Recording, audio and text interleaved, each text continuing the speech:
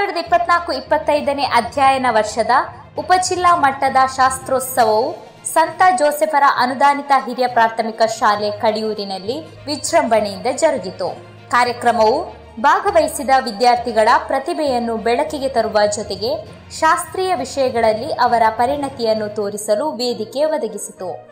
ಮಿಂಜಾ ಗ್ರಾಮ ಪಂಚಾಯತ್ ಅಧ್ಯಕ್ಷೆ ಸುಂದರಿ ಆರ್ ಶೆಟ್ಟಿಯವರ ಅಧ್ಯಕ್ಷತೆಯಲ್ಲಿ ನಡೆದ ಶಾಸ್ತ್ರೋತ್ಸವವನ್ನು ಮಂಜೇಶ್ವರ ಜನಪ್ರಿಯ ಶಾಸಕ ಎಕೆಎಂ ಅಶ್ರಫ್ ಉದ್ಘಾಟಿಸಿದರು. ಈ ಸಂದರ್ಭ ವರ್ಕಾಡಿ ಗ್ರಾಮ ಪಂಚಾಯತ್ ಅಧ್ಯಕ್ಷೆ Bharathi S Catholic board manager doctor Praveen Lasrado, Manjeshwar ಉಪವಿದ್ಯಾಧಿಕಾರಿ Rajgopal, ಜನಪ್ರತಿನಿಧಿಗಳಾದ ಜಯರಾಮ್ ಬಲ್ಲಂಗುಡೆಲ್ ರುಕಿಯಾ ಸಿದ್ದಿಕ್, ಶ್ರೀಮತಿ ಜ್ಯೋತಿ, ಅಬ್ದುಲ್ ಲತೀಫ್, ಕಮಲಾಕ್ಷಿ ಸೇರಿದಂತೆ ಹಲವು ಗಣ್ಯರು ಉಪಸ್ಥಿತರಿದ್ದರು.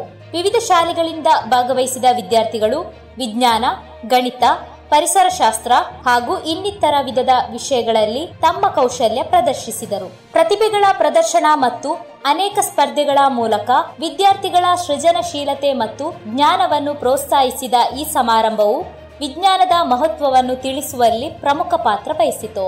ಶಾಸ್ತ್ರೋತ್ಸವವು ವಿದ್ಯಾರ್ಥಿಗಳಲ್ಲಿ ಸಂಶೋಧನಾ ಮನೋಭಾವದ ವೃದ್ಧಿಗೆ ಮತ್ತು ಭವಿಷ್ಯದಲ್ಲಿ ಅಧ್ಯಯನ ಚಟುವಟಿಕೆಗಳಿಗೆ ಪ್ರೇರಣೆ ನೀಡುವಲ್ಲಿ ಯಶಸ್ವಿಯಾಗಿತ್ತು ಎಂದು ಸೇರಿದ ಗಣ್ಯರು ಅಭಿಪ್ರಾಯಪಟ್ಟರು. ಮೂರು ದಿನಗಳಲ್ಲಾಗಿ ನಡೆಯುವ ಶಾಸ್ತ್ರೋತ್ಸವವು ಅಕ್ಟೋಬರ್ ಇಪ್ಪತ್ತೆಂಟಕ್ಕೆ ಸಮಾಪ್ತಿಗೊಳ್ಳಲಿದೆ.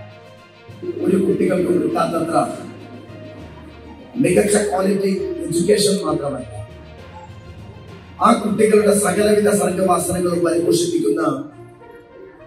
ഏഷ്യയിൽ ഏറ്റവും വലിയ സ്കൂൾ കലോത്സവം നടക്കുന്ന സംസ്ഥാനം നമ്മുടെ കേരളമാണ്.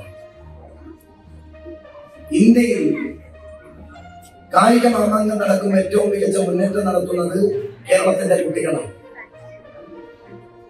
സയൻസ് ആയാലും മറ്റു മേഖലകളെടുത്ത് പരിശോധിച്ചാലും കേരളത്തിന്റെ വിദ്യാഭ്യാസ മേഖലയിൽ നമ്മുടെ കുട്ടികളുടെ മുന്നേറ്റം നമുക്ക് അഭിമാനത്തോടു കൂടി എടുത്തു പറയാൻ കഴിയുന്ന ഒന്നാണ്.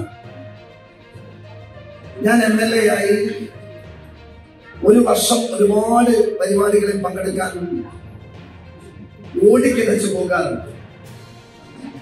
പലപ്പോഴും മനസ്സിലേക്ക് ചില ഉദ്ഘാടനങ്ങളും ചില ചടങ്ങുകളും വല്ലാത്ത ഓർമ്മകളായി മനസ്സിൽ കടന്നു പോകാറുണ്ട് ഇന്നലെ ഫാദർ എന്നെ വിളിക്കുമ്പോൾ ഞാൻ വയനാടായിരുന്നു രാജീവ് ഗാന്ധിയുടെ പ്രിയപ്പെട്ട പുത്രി. പ്രിയങ്ക ഗാന്ധി മത്സരിക്കുന്ന ലോക്സഭാ ഇലക്ഷന്റെ ചുമതലയുമായി ബന്ധപ്പെട്ടുകൊണ്ട് അവിടെ നിൽക്കുമ്പോൾ സത്യത്തിന് നവംബർ മാസം പതിനൊന്നാം തീയതി വരെ ഞങ്ങൾക്കൊക്കെ